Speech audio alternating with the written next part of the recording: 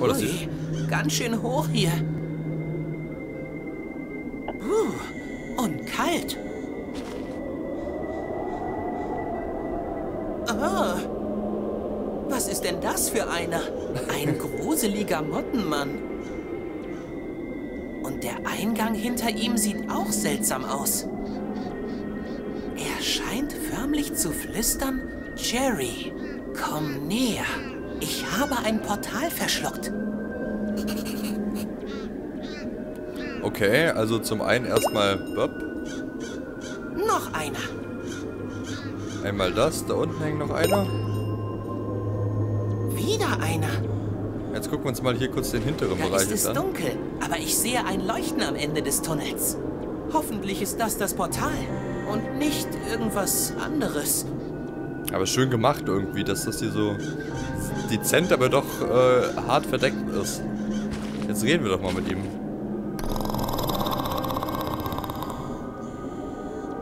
Schläft tief und fest am helllichten Tag.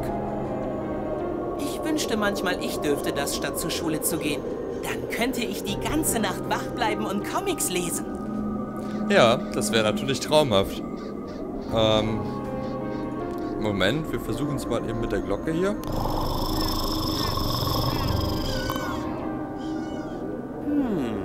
Ich glaube, die sind hier nachtaktiv. Ja, ich kann auch gerne auf Nacht umschalten. Das ist kein Problem. Das ergibt sogar Sinn, aber das merkt man hier oben nicht so richtig, ob Tag oder Nacht ist. Aha, jetzt ist es offen. Okay. Dann nochmal. Entschuldigung, ich suche nach einem Baumportal. Haben Sie sowas in Ihrem Nest äh, zu Hause? Und wenn ja, dürfte ich es sehen? Oder durchlaufen? Ist das ein Ja? Einmal blinzeln für Ja. Vielleicht hört er mich ja nicht. Hallo? Herr Motte? Ich hätte da mal eine Frage. Wenn wir Oma besuchen, muss ich auch immer laut sprechen. Und wenn man laut genug schreit, klingt alles wichtig. Keine Nichtflügler. Oh, Entschuldigung. Frau Motte. Äh, bitte was? Nichtflügler. Deine Schwingungen entfremden den Ort. Oh. Ich weiß nicht, was das heißen soll, aber. Aber ich glaube, das ist ein Privatbereich für Insekten. Schade, dass ich keine Flügel habe. Ja, dazu habe ich jetzt zwei Ideen. Mal gucken, ob Idee 1 funktioniert. Wow. Irgendwas kribbelt bei mir. Aha. Des Lichtes groß. Äh, ja, dir auch. Für wahr. Du hast ein wunderbares Flügelpaar. Dankeschön, Dankeschön. Ach ja? Verzeih, dass ich sie vorher übersah. Wir dachten schon, wir wären die einzigen vernunftbegabten Flügelträger in dieser uns zur Heimat gewordenen Fremde. Ich kann die Flügel fühlen. Aber ich glaube, ich bilde sie mir nur ein. Und die Nachtfalterin sieht sie auch. So fühlt es sich also an, wie Kitsune zu sein. Aber was wohl ihre richtige Gestalt ist? Und was sie wohl gerade macht? Ob ich sie bald mal wiedersehe? Du stehst mit dir selbst im Dialog, Einheimischer. Priesterin Phosphora wartet im Tempel. Sie wird sich freuen, einen einheimischen Nachtfalter begrüßen zu dürfen. Okay, ich lauf dann mal durch. Okay? So folge dem Weg, der dir gewiesen, so wie auch wir es tun. Ja, dann gehen wir mal dem Licht hinterher. Huch. Uh, ist das kalt hier? Oh, das muss die Priesterin Phosphera sein. Ahem. Summ? Was für ein Geräusch machen Motten überhaupt? Schöne Nacht heute, nicht? Meine Augenfacetten. Täuschen sie, geht dort ein Nachtfalter. Äh, genau. Hespera hat dich eingelassen, aber es geht ihr gut. Es liegt in der Luft. Du musst ein wohlgesinnter Nachtfalter sein. Das bin ich. Puh. Für einen Moment hatte ich befürchtet, der Zauber würde nur bei einer Motte auf einmal wirken. Von wo kommst du? Unserer Gemeinschaft bist du nicht angehörig. Zudem deine Maske. Du trägst sie nicht. Ja, ich bin von ganz weit weg. Sei uns willkommen. Doch wisse, nur die Not hält uns noch an diesem kalten Ort. Welche Not denn? Ähm, seid ihr die einzigen beiden, die hier leben? Was äh, bewachst da, da also Was bewachst du da so aufmerksam? Das ist Es interessant. ist der letzte Lichtstrahl. Wir sind die letzten Nonnen der Mondlichtgemeinde. Und wir erwarten die Ankunft unserer Hohepriesterin, die unter einem guten Stern gelegt worden ist. Die lichterfüllteste Nachtfalter unseres Kreises zeugten sie. Wir werden es Mondschein nennen. Mondschein. Schöner Name.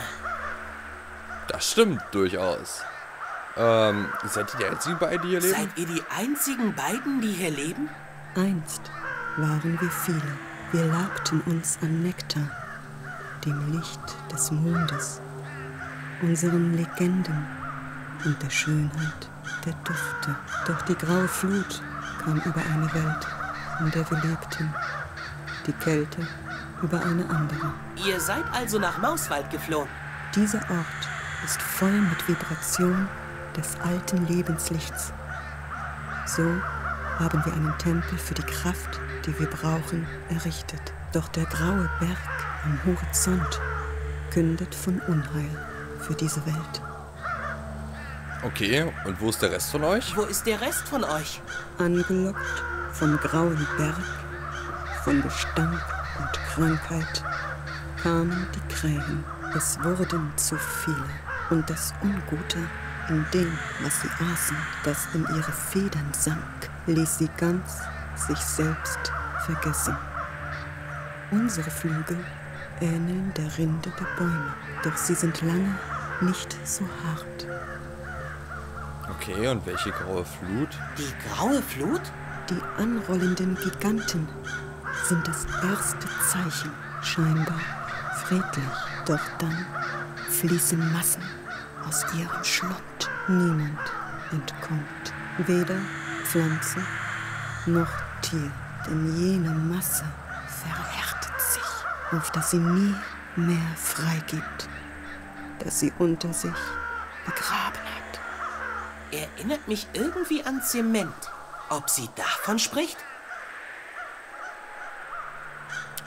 Könnte sein, ja. Die Bebauung der Wälder, die Abrodung der Wälder, könnte sein, dass sich das darauf bezieht. Warum nicht? Wieso tragt ihr solche Masken? Wie der Mond verdecken wir unsere Züge, denn nur durch das In sich kehren kann man seinen Geist erneut verpuppen. Sie symbolisiert die Abkehr von der Welt und die Zukehr zum inneren Licht. Okay. Lass uns das Thema Lass wechseln. uns das Thema wechseln. Äh, Habt ihr hier ein Portal, das ich benutzen kann? Die Kälte an jenem Baum bricht in der Tat aus einer anderen Welt hervor. Nunmehr vermag nur das warme Licht unserer Hohepriesterin, die in meinen Armen ruht, diese erkaltete Verbindung zu öffnen. Doch ihr Licht ist schwach. Sie weiß, dass wir bald aufbrechen müssen. Doch ohne Nahrung besteht wenig Hoffnung, dass sie je fern von hier aus ihrer Schale bricht. Was braucht ihr denn als Wegproviant? Blumensamen. Blumensamen. Das kann ja nicht so schwer sein. Okay, also brauchen wir Blumensamen. War nett mit dir zu reden, aber ich muss da mal andere Insektensachen machen. Kehre zurück, wann es dir gelingt, aber warte nicht zu lang. Von überall kommen Lichter, die blenden und uns von hier fortziehen. Okay, wir brauchen also wirklich Blumensamen. Ein Topf Da mit ist Erde. Erde in diesem Topf, aber keine Pflanze. Nur ein seltsamer Stein, den jemand... Oh, mein Fehler. Das war mal eine Pflanze. Hm, können wir die vielleicht einmal wachsen lassen? Nichts. Da ist wohl nichts, was wachsen will. Okay. Hagebutten sind... Na, okay, hätte ja sein können, dass wir da Hagebutten reinschmeißen können. Also brauchen wir irgendwelche Samen, die wir da reinschmeißen können. Da ist Erde. Nur... Oh, mein... Ja, Das... hätte sein können, dass er noch irgendwas nimmt. Da Hier schneit es sogar. Wahrscheinlich... Moment, da fange ich nochmal kurz Oh an. Mann, ist das kalt hier. Hier schneit es sogar ein bisschen. Wahrscheinlich war Platos Fahrrad deshalb unten in der Pfütze festgefroren. Die Kälte scheint direkt aus dem Baum zu kommen. Okay, wir reden mal noch mal ganz kurz äh, hier mit dem mit dem Kristall. Du hast etwas verloren. Doch jemand anderes sucht schon danach. Ja. Und das wird wohl die Mondgöttin sein hier. Ist das jemand von euch? Ein Abbild unserer hohe Priesterin. Oder Sie sieht sehr hübsch aus. Wie der Mondschein. So war sie immer. Und sie wird es wieder sein, wenn sie erst geschlüpft ist. Woher wisst ihr das, wenn sie doch noch in dem Ei ist? Sie kommt und geht wie das Mondlicht. Wir kennen sie und bald kommt wieder ihre Zeit. Mhm, okay. Mal gucken, ob wir eben einmal Tag machen können. Na, wobei, Moment, halt, halt, halt. Ist das denn jetzt wieder verdeckt? Ja, ist es.